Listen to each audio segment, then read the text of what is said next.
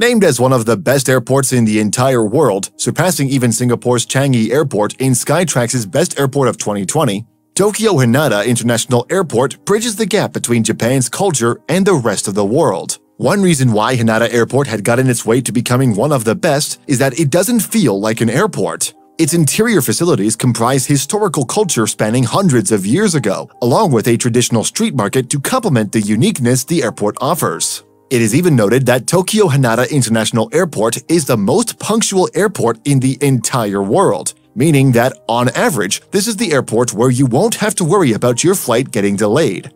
Quite an amazing feat, even though it is one of the busiest airports in the world, accommodating over 85 million passengers before COVID hit in 2019. So how did Japan construct one of the best airports in the entire world? Well, to know that, we must first go back to when it was just a tiny airport. Previously, Haneda Airport wasn't what people would have expected it to be.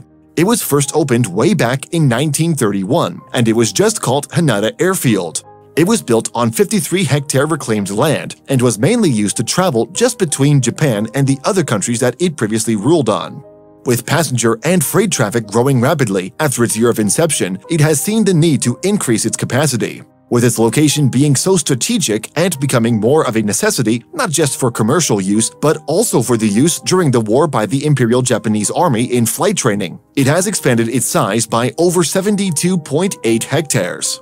Come the late 1940s till the early 1950s, when the war has ended, the airport was occupied by another world superpower back then, and it was the United States and its allies. Being occupied by external countries, some have seen it as a bad thing. Why? Because nobody wants another country ruling over their own airport. However, this is actually not the case for the Haneda Airfield, or renamed as during that time as Haneda Army Air Base. With the occupation, it has actually benefited greatly, as the airport has seen a vast expansion with its airport and facilities. At one point, they even had to evict 3,000 residents living near it to make way for its construction. This occupation by the Allied forces has also not only paved the way for improving its infrastructure, but has also opened its international commercial use with flights coming from various countries around. From 1952 to 1958, the forces occupying it have given the entire airport back piece by piece to its rightful owner, which eventually has finally become the Tokyo International Airport. This would pave the way for the construction of its first passenger terminal building. In the following years, the country of Japan had seen continuous demand for its international freight and passenger flights and would pave the way for a stronger economic rebound after the damages the war had done. By 1964, the airport was finally connected to its rail system, which was in the same year the Tokyo Olympics had taken place. With this approach, however, the Tokyo International Airport had seen strong passenger traffic both among its citizens and international flyers. This decade marked serious concerns for the government of Japan, as not only had it seen strong traffic, but also the introduction of bigger planes needing accommodating within its facilities. At first, they had planned on expanding the Haneda airport. However, they had seen that even if they had expanded the airport, it would still be insufficient for the years to come and would operate at only a limited capacity. Hence, they came with a fresh approach, an approach that would not expand the airport but open a newer and better airport, one that would be mainly used for international flights and would downgrade the Haneda airport into more of domestic use. By 1978, it has opened the Narita Airport, or what is more commonly known as the Narita International Airport. This airport would finally help the traffic the country was facing and position itself with the future demands to come. With Japan's being such a beautiful country to visit, from its culture, unique fashion style, and cars, it had assuredly got the eyes of people from around the world. Haneda Airport's next big expansion came in the year 1993 when it opened Terminal Number 1 called the Big Bird. Quite a cool name for an airport.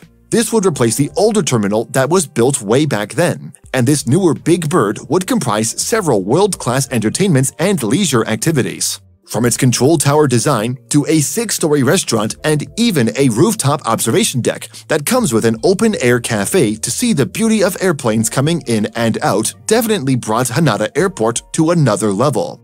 By 2004, it had opened yet another terminal, which would be its second terminal, and just like the first, it would have its own unique facilities constructed within it.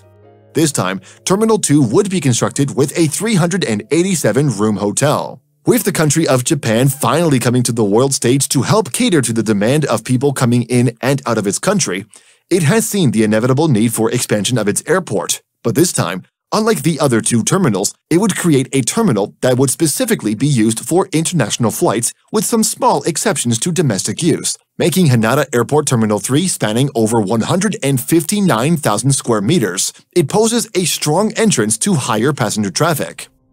With its Terminal 3 being the final huge extension it had done thus far, it would still be probable that we will see a bigger one with global tourism's continuous rise.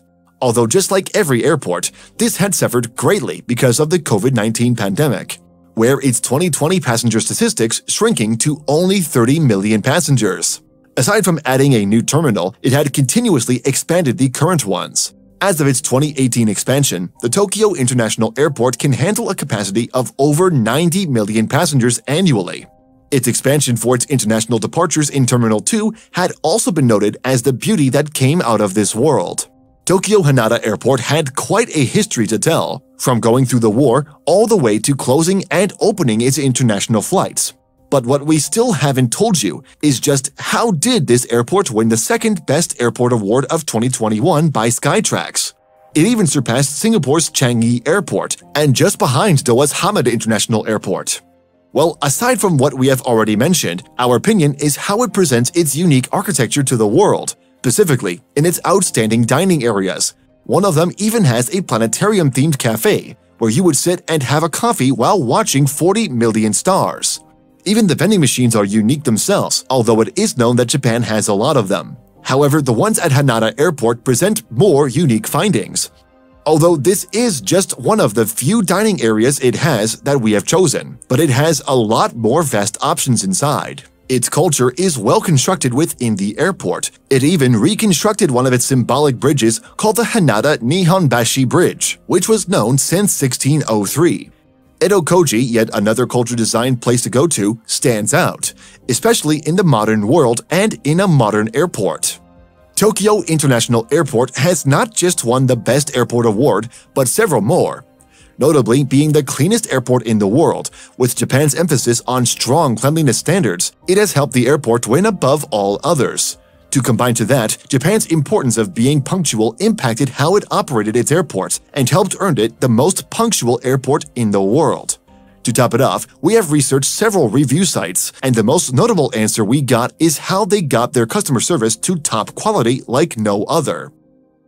Anyway, what do you think about the Tokyo International Airport? Did you learn something new today? Or was there something that we missed on? Share with us your thoughts in the comments. Don't forget to leave us a like and follow us for more amazing videos. Thanks for watching.